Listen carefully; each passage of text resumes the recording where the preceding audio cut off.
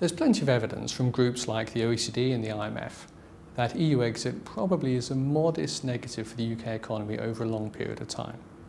But in the near term, the next year or two, I think the economy will slow, but perhaps not slow as much as the consensus has been expecting. And this is partly because of the support from loose financial conditions, partly because of the underlying advantages, including supply-side flexibility of the UK economy.